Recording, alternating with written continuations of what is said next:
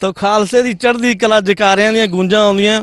ਇੱਕ ਹੋਰ ਸਿਰਫ ਮੈਂ ਚਾਰ ਲੈਣਾ ਕਿ ਅੱਜ ਜੋ ਸਾਡੇ ਸਿੱਖ ਕੌਮ ਦੇ ਨਾਲ ਤਰਾਸਦੀ ਹੈ ਕਿ ਅੱਜ ਸਾਡੇ ਆਪਣੇ ਬੱਚੇ ਗੁਰਮੁਖਤਾਈ ਤੋਂ, ਗੁਰਸਿੱਖੀ ਤੋਂ ਤੇ ਗੁਰੂ ਗੋਬਿੰਦ ਸਿੰਘ ਮਹਾਰਾਜ ਨੇ ਜਿਹੜਾ ਸਾਨੂੰ ਇਹ ਸਾਬਤ ਸੂਰਤ ਦਸਤਾਰ ਸਿਰਾ ਦੀ ਗੱਲ ਕਹੀ, ਉਹਦੇ ਤੋਂ ਆਪਾਂ ਦੂਰ ਹੁੰਦੇ ਜਾ ਰਹੇ ਹਾਂ। ਆਨੰਦਪੁਰੀ ਸਾਹਿਬ ਤੋ ਚਾਰ ਲਾਈਨਾਂ ਮੈਂ ਭਾਈ ਤਾਰੂ ਸਿੰਘ ਜੀ ਬਾਰੇ ਆਪਣੀ ਸਾਰੇ ਸੰਸਾਰ ਜਿਹੜੀ ਮੇਰੀ ਪ੍ਰਸਿੱਧ ਕਵਿਤਾ ਹੈ, ਕੇਸਾਂ ਦੀ ਮਹਾਨਤਾ ਬਾਰੇ। ਉਹਦੇ ਵਿੱਚੋਂ ਸਿਰਫ ਚਾਰ ਲਾਈਨਾਂ ਭਾਈ ਤਾਰੂ ਸਿੰਘ ਨੂੰ ਜ਼ਕਰੀਆ ਕੀ ਕਹਿ ਰਿਹਾ ਹੈ ਤੇ ਭਾਈ ਤਾਰੂ ਸਿੰਘ ਜੀ ਅੱਗੋਂ ਕੀ ਕਹਿ ਰਹੇ ਨੇ, ਸਿਰਫ ਚਾਰ ਲਾਈਨਾਂ।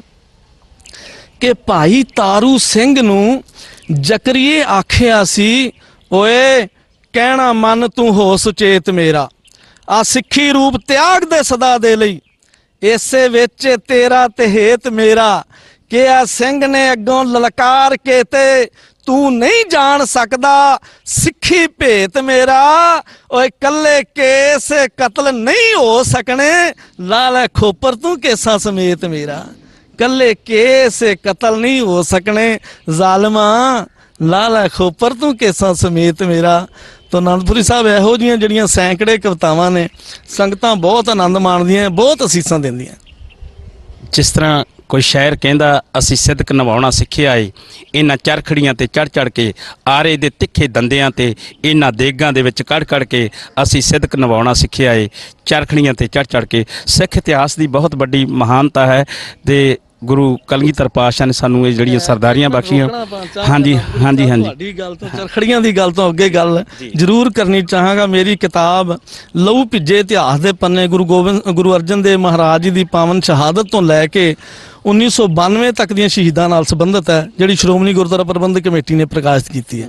ਉਹਦੀਆਂ ਚਾਰ ਲਾਈਨਾਂ ਉਸ ਕਿਤਾਬ ਨੂੰ ਸਮਰਪਿਤ ਕਿ ਸਿੱਖ ਇਤਿਹਾਸ ਦਾ ਕੋਈ ਵੀ ਨਹੀਂ ਪੰਨਾ ਗੱਲ ਕਰੇ ਨਾ ਜਿਹੜਾ ਕੁਰਬਾਨੀਆਂ ਦੀ, ਤੁਸੀਂ ਚਰਖੜੀਆਂ ਦੀ ਗੱਲ ਕੀਤੀ ਆਨੰਦਪੁਰੀ ਜੀ।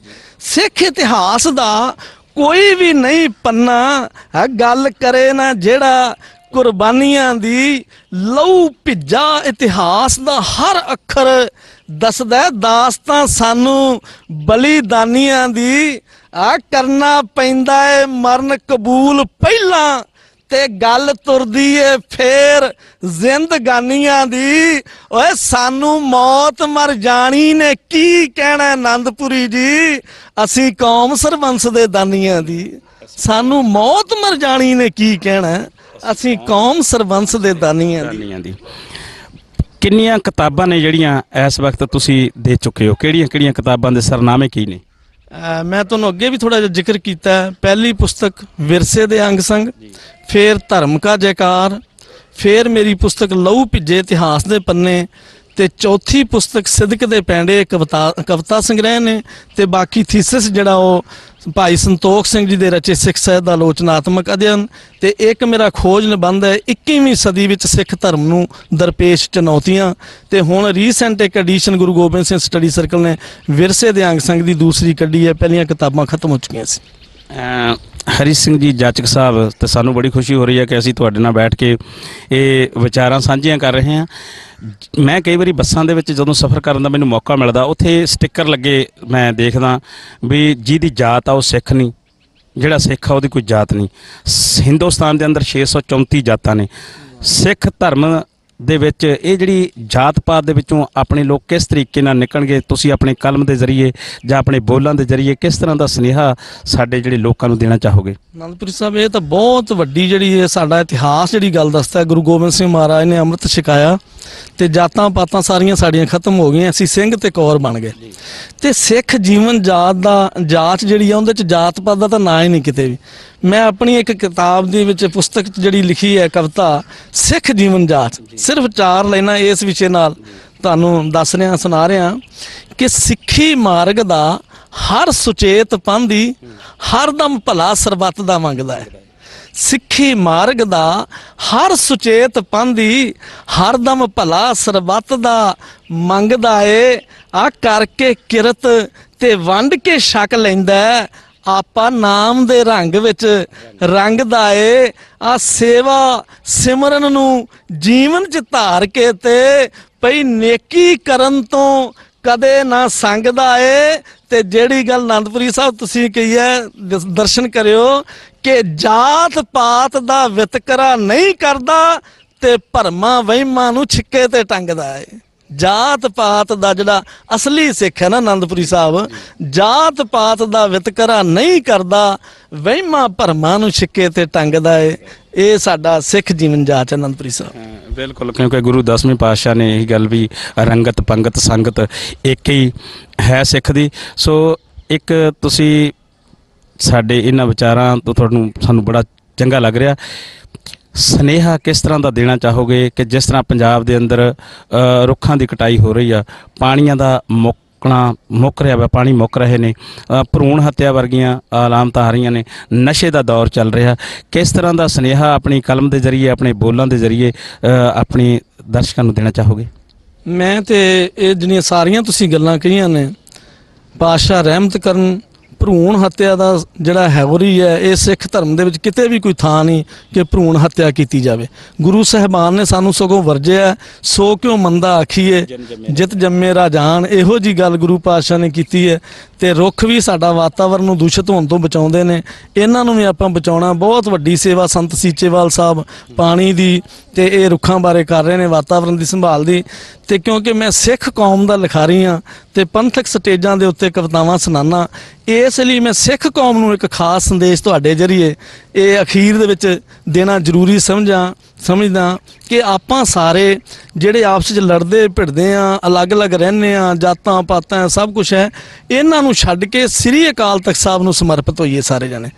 ਤੇ ਉਹਦੇ ਬਾਰੇ ਮੈਂ ਸਿਰਫ ਚਾਰ ਕਲੇਨਾ ਆਪ ਜੀ ਦੇ ਨਾਲ ਸਾਂਝੀਆਂ ਕਰਦਾ ਹਾਂ ਕਿ ਗੁਰੂ ਚਰਨਾਂ 'ਚ ਜਾਚ ਕੇ ਅਰਦਾਸ ਕਰਦਾ ਹੈ ਕਿ ਝੰਡਾ ਕੇਸਰੀ ਹੋਰ ਬੁਲੰਦ ਹੋਵੇ। ਸ਼ਬਦ ਗੁਰੂ ਤੇ ਓਟ ਜੋ ਰੱਖਦਾ ਏ, ਆ ਨਾਨਕ ਨਾਮ ਲੇਵਾ, ਲਾਮ ਬੰਦ ਹੋਵੇ ਸਦਾ ਮਿਲੇ ਅਗਵਾਈ ਤੇ ਸੇਧ ਉਹਨੂੰ ਗੁਰ ਸਿੱਖੀ ਦਾ ਜਿਹੜਾ ਪਾਬੰਦ ਹੋਵੇ, ਰੱਬੀ ਫੈਸਲੇ ਇੱਥੇ ਉਹ ਲੈ ਜਾਵਣ, ਸਿੱਖ ਕੌਮ ਨਾਲ ਜਿੰਦਾ ਸਬੰਧ ਹੋਵੇ, ਆ ਮਹਿਕਾਂ ਵੰਡੇ, ਇਹ ਸਾਰੇ ਸੰਸਾਰ ਅੰਦਰ ਖੁਸ਼ੀ, ਖੇੜਾ ਤੇ ਸਦਾ ਆਨੰਦ ਹੋਵੇ ਅਕਾਲ ਤਖਤ ਦੀ ਪਾਵਨ ਕਮਾਨ ਹੇਠਾਂ ਸਿੱਖ ਕੌਮ ਸਾਰੀ ਜਥੇਬੰਦ ਹੋਵੇ, ਅਕਾਲ ਤਖਤ ਦੀ ਪਾਵਨ ਕਮਾਨ ਹੇਠਾਂ ਸਿੱਖ ਕੌਮ ਸਾਰੀ ਜਥੇਬੰਦ ਹੋਵੇ। ਜਦੋਂ ਆਪਾਂ ਸਿੱਖ ਇਤਿਹਾਸ ਦੇ ਵਿੱਚ ਕੁਝ ਦੇਖਦੇ ਹਾਂ, ਸਾਡੇ ਸੰਤ ਮਹਾਪੁਰਸ਼ ਇੱਕ ਸੰਤ ਸ਼ਬਦ ਜਿਹੜਾ ਲੱਗਦਾ ਵਾ। ਕਿਉਂਕਿ ਜਦੋਂ ਆਪਾਂ ਪਾਦਰੀਆਂ ਦੇ ਜਾਂ ਉਹਨਾਂ ਦੇ ਕ੍ਰਿਸਚਨਾਂ ਦੇ ਦੇਖਦੇ ਹਾਂ ਤਾਂ ਉਹਨੂੰ ਕਾਫੀ ਐਜੂਕੇਸ਼ਨ ਤੋਂ ਬਾਅਦ ਉਹਨੂੰ ਇੱਕ ਫਾਦਰ ਦੀ ਡਿਗਰੀ ਦਿੱਤੀ ਜਾਂਦੀ ਆ। ਤੇ ਆਪਣੇ ਕਈ ਵਾਰੀ ਮੈਂ ਇਹ ਕਹਿਣਾ ਨਹੀਂ ਚਾਹਾਂਗਾ ਕਿ ਘੱਟ ਪੜ੍ਹਾਈ ਲਿਖਾਈ ਦੇ ਬਾਵਜੂਦ ਵੀ ਆਪਾਂ ਸੰਤ ਦੀ ਪਦਵੀ ਮਿਲਦੀ ਆ। ਕੀ ਤੁਸੀਂ ਇਹਨਾਂ ਵਿਚਾਰਾਂ ਦੇ ਨਾਲ ਕਿੱਥੋਂ ਕੁ ਤੱਕ ਸਹਿਮਤ ਹੋ? ਕਿੰਨੇ ਕੁ ਗਿਆਨ ਤੋਂ ਬਾਅਦ ਜਾਂ ਜਿਹੜੀ ਸੰਤ ਦੀ ਪਦਵੀ ਉਹ ਕਦੋਂ ਮਿਲਣੀ ਚਾਹੀਦੀ ਆ? ਅਸਲ ਵਿੱਚ ਜਿਹੜਾ ਸਾਡੇ ਜਿੰਨੇ ਮਹਾਂਪੁਰਸ਼ ਨੇ ਸੰਤ ਮਹਾਤਮਾ ਨੇ ਅ, ਗੁਰਮਤ ਅਨੁਸਾਰੀ ਉਹਨਾਂ ਨੂੰ ਆਪਾਂ ਗੁਰਸਿੱਖ ਕਹਿੰਦੇ ਆ ਜਾਂ ਗੁਰਮੁਖ ਕਹਿੰਦੇ ਆ ਤੇ ਸੰਤ ਕਹਿੰਦੇ ਆ ਬ੍ਰਹਮ ਗਿਆਨੀ ਕਹਿੰਦੇ ਆ ਸਾਡੇ ਚ ਹੈਗੇ ਨੇ ਸਿੱਖ ਕੌਮ ਚ। ਪਰ ਜ਼ਿਆਦਾ ਤੌਰ ਜਿਹੜੇ ਨਾ ਉਹ ਸੰਤ ਦੇ ਭੇਸ ਦੇ ਵਿੱਚ ਬਹੁਰੂਪੀਏ ਨੇ। ਇਸ ਕਰਕੇ ਜਿਹੜੇ ਤੇ ਮਹਾਪੁਰਸ਼ ਹੁੰਦੇ ਨੇ, ਉਹਨਾਂ ਦੇ ਬ੍ਰਹਮ ਗਿਆਨੀਆਂ ਦੀ ਅਵਸਥਾ ਗੁਰੂ ਅਰਜਨ ਦੇਵ ਮਹਾਰਾਜ ਨੇ ਸੁਖਮਾਨੀ ਸਾਹਿਬ ਦੇ ਵਿੱਚ ਵੀ ਬਿਆਨ ਕੀਤੀ ਹੈ। ਤੇ ਮੈਂ ਤੇ ਇਹ ਗੱਲ ਕਰਾਂਗਾ, ਜਿਹੜਾ ਸਾਨੂੰ ਗੁਰੂ ਗ੍ਰੰਥ ਸਾਹਿਬ ਮਹਾਰਾਜ ਦੇ ਚਰਨਾਂ ਨਾਲ ਜੋੜਦਾ ਹੈ, ਉਹ ਅਸਲੀ ਸੰਤ ਹੈ। ਜਿਹੜਾ ਸੰਤ ਆਪਣੇ ਚਰਨਾਂ ਨਾਲ, ਦੇਹ ਦੇ ਨਾਲ ਜੋੜਦਾ ਹੈ, ਉਹ ਸਿੱਖ ਕੌਮ ਦੇ ਵਿੱਚ, ਉਹ ਸੰਤ ਦੀ ਕੋਈ ਥਾਂ ਨਹੀਂ। ਜਿਸ ਤਰ੍ਹਾਂ ਗੁਰਬਾਣੀ ਦੇ ਵਿੱਚ ਫਰਮਾਨ ਹੈ ਵੀ ਪਵਨ ਗੁਰੂ, ਪਾਣੀ ਪਿਤਾ, ਮਾਤਾ ਤਰਤ ਮਹਤ। ਤੇ ਅਸੀਂ ਕਿੰਨੇ ਕ ਜਿਵੇਂ ਪਾਣੀ ਸਾਡੇ ਗੰਧਲੇ ਹੋ ਰਹੇ ਨੇ, ਧਰਤੀ ਦਾ ਸਾਡੇ ਵਾਤਾਵਰਣ ਦੂਸ਼ਿਤ ਹੋ ਰਿਹਾ ਵਾ, ਅਮਲੀ ਰੂਪ ਦੇ ਵਿੱਚ ਜਿਹੜੇ ਸੰਤ ਨੇ, ਮਹਾਪੁਰਸ਼ ਨੇ, ਕਮੇਟੀਆਂ ਨੇ, ਕਿਸ ਤਰੀਕੇ ਦੇ ਜਿਹੜੇ ਉਪਰਾਲੇ, ਜਿਵੇਂ ਸੰਤ ਬਾਬਾ ਬਲਵੀਰ ਸਿੰਘ ਜੀ ਸਿੰਚੇਵਾਲ ਵਾਲਿਆਂ ਨੇ ਪਾਣੀ ਨੂੰ ਤੇ ਵਾਤਾਵਰਨ ਨੂੰ ਸ਼ੁੱਧਤਾ ਦੀ ਇੱਕ ਲਹਿਰ ਚਲਾਈ ਆ, ਕੀ ਸੰਤ ਮਹਾਪੁਰਸ਼ਾਂ ਦਾ ਧਾਰਮਿਕ ਸਿਮਰਨ ਦੇ ਨਾਲ ਨਾਲ ਕੀ ਇਹੋ ਜਿਹਾ ਉਪਰਾਲਾ ਹੋਣਾ ਵੀ ਕੋਈ ਜ਼ਰੂਰੀ ਹੈ? ਇਹ ਬਹੁਤ ਵੱਡੀ ਗੱਲ ਹੈ ਅਨੰਦਪੁਰੀ ਸਾਹਿਬ, ਸਾਡੇ ਤੇ ਸਿੱਖ ਕੌਮ ਦੇ ਦੋ ਥੰਮ ਨੇ। ਉਹਦੇ ਚ ਸੇਵਾ ਵੱਡਾ ਥੰਮ ਹੈ ਸਿਮਰਨ ਨਾਲ ਹੈ। ਤੇ ਸੇਵਾ ਦੇ ਵਿੱਚ ਬਹੁਤ ਵੱਡੀ ਜਿਹੜੀ ਸਮਾਜ ਸੇਵਾ ਹੈ ਇਹਦੇ ਵਰਗੀ ਤੇ ਸੇਵਾ ਹੀ ਕੋਈ ਨਹੀਂ ਹੈ।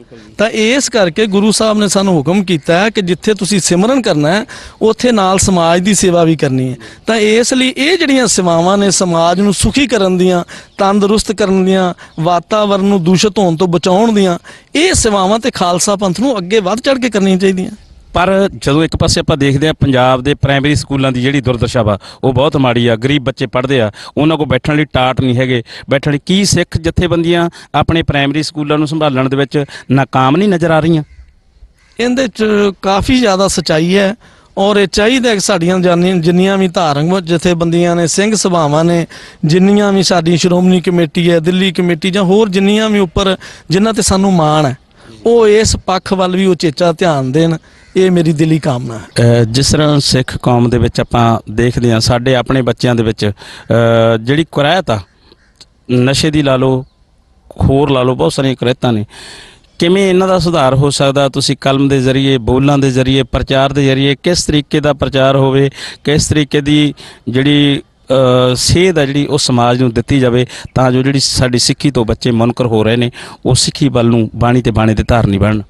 ਆਨੰਦਪੁਰੀ ਸਾਹਿਬ ਮੈਂ ਇੰਗਲੈਂਡ ਵੀ 4 ਕੁ ਮਹੀਨੇ ਲਾ ਕੇ ਆਇਆ। ਮੈਂ ਸਗੋਂ ਇਹ ਦੇਖਿਆ ਮਾਣ ਮਹਿਸੂਸ ਕੀਤਾ ਕਿ ਬਾਹਰਲੇ ਦੇਸ਼ਾਂ ਦੇ ਵਿੱਚ ਸਿੱਖੀ 'ਚ ਸਾਡੇ ਸਿੱਖ ਪਰਪੱਕ ਨੇ। ਪਰ ਪੰਜਾਬ ਦੇ ਅੰਦਰ ਤੇ ਅਸੀਂ ਜਦੋਂ ਦੇਖਦੇ ਹਾਂ ਇੱਕ ਤਾਂ ਰੋਮਾਂ ਦੀ ਬੇਅਦਬੀ ਪੂਰੇ ਤੌਰ ਤੇ ਹੋ ਰਹੀ ਹੈ। 95 75% ਬੱਚੇ ਸਾਡੇ ਰੋਮਾਂ ਦੀ ਬੇਅਦਬੀ ਕਰ ਰਹੇ ਨੇ। ਤੇ ਨਸ਼ਿਆਂ ਦੀ ਤੇ ਬਹੁਤ ਬੁਰੀ ਹਾਲਤ ਅੱਜ ਦੇ ਸਾਡੇ ਨੌਜਵਾਨ ਜਿਹੜੇ ਨੇ ਨਸ਼ਿਆਂ ਦੀ ਦਲਦਲ ਵਿੱਚ ਬੁਰੀ ਤਰ੍ਹਾਂ ਫਸ ਚੁੱਕੇ ਨੇ। ਤੇ ਮੈਂ ਕਈ ਕਵਿਤਾਵਾਂ ਇਹਨਾਂ ਵਿਸ਼ਿਆਂ ਤੇ ਵੀ ਲਿਖੀਆਂ ਹੋਈਆਂ।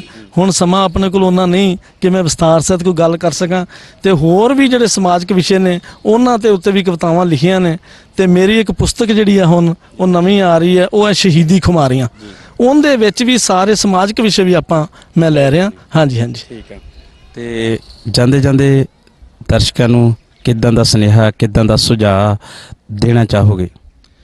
ਸਭ ਤੋਂ ਪਹਿਲਾਂ ਤੇ ਮੈਂ ਬਹੁਤ ਧੰਨਵਾਦ ਕਰਦਾ ਜੱਗ ਪੰਜਾਬੀ ਦਾ ਤੇ ਇਹਨਾਂ ਦੇ ਸਤਿਕਾਰਯੋਗ ਜਿਹੜੇ ਡਾਇਰੈਕਟਰ ਸਹਿਬਾਨ, ਮੁਖੀ ਸਹਿਬਾਨ ਨੇ, ਭਾਈ ਸਤਵਿੰਦਰ ਸਿੰਘ ਜੀ ਕੈਲਗਰੀ ਵਾਲੇ ਤੇ ਭਾਈ ਰਵਿੰਦਰ ਸਿੰਘ ਜੀ ਗਰੋਵਰ। ਜਿਨ੍ਹਾਂ ਨੇ ਅੱਜ ਮੈਨੂੰ ਮਾਣ ਬਖਸ਼ਿਆ, ਮੈਨੂੰ ਸੰਗਤਾਂ ਦੇ ਰੂਬਰੂ ਕੀਤਾ ਤੇ ਬਹੁਤ ਵੱਡੀ ਸੇਵਾ ਖਾਲਸਾ ਪੰਥ ਦੀ ਕਰ ਰਹੇ ਨੇ, ਜਿਹੜੇ ਰਾਗੀ, ਢਾਡੀ, ਪ੍ਰਚਾਰਕ, ਕਵੀ, ਕਥਾਵਾਚਕ, ਇਹਨਾਂ ਨੂੰ ਕੌਮ ਦੇ ਸਨਮੁਖ ਪੇਸ਼ ਕਰ ਰਹੇ ਨੇ।